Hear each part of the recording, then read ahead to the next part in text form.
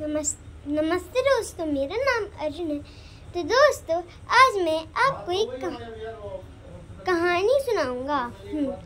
The proud रोज ये मैं सुना चुका हूँ। आप ही कहोगे कि क्यों सुना रहे हो? फिर से क्यों सुना रहे हो? ये कह रहे होगे? लेकिन मैं इसको हिंदी वर्जन में सुनाऊँगा। हाँ हिंदी वर्जन में। तो प्राउड रोज सुनी चलो सुनते तो तो डेजर्ट में एक रोज और एक कैक्टस रहते थे और बहुत सारे भी अदर रहते थे रहते थे। तो एक दिन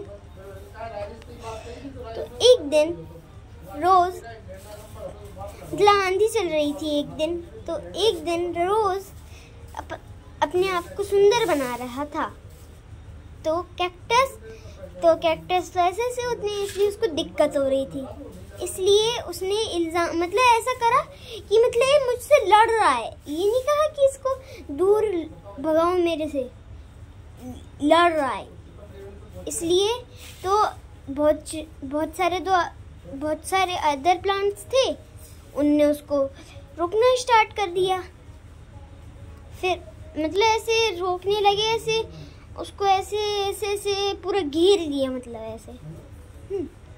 उसके बाद फिर कैक्टस तो ऐसा था। तो फिर सब लोग तो डिफेंड करने में लगे थे। लेकिन रोज अपने आप को सुंदर बनाने के लिए कर रहा था ऐसा। लेकिन जब हम ऐसा करेंगे तो हमारे साथ भी कुछ बुरा होगा। तो ऐसे ही एक टाइम जब मतलब ऐसे बहुत सारे प्लांट्स तो सूख गए थे, उनको वो पानी देने लगा था। लेकिन अब तक रोज नहीं सूखा।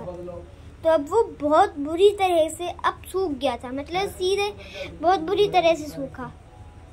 उसके बाद वो धीरे धीरे ऐसे मुरझाना स्टार्ट हो गया।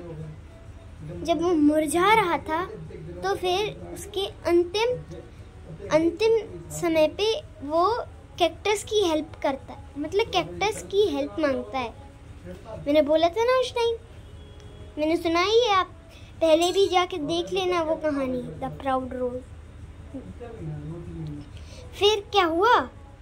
आपको मालूम है ना? हाँ। फिर जो रेडली कैक्टस था, उसने हाँ कह दिया। क्योंकि वो तो और सभी और सभी को भी तो कर रहा है। हाँ तो दोस्तों अगर आपको ये वीडियो अच्छी लगी तो लाइक सब्सक्राइब और शेयर करना। Bye bye.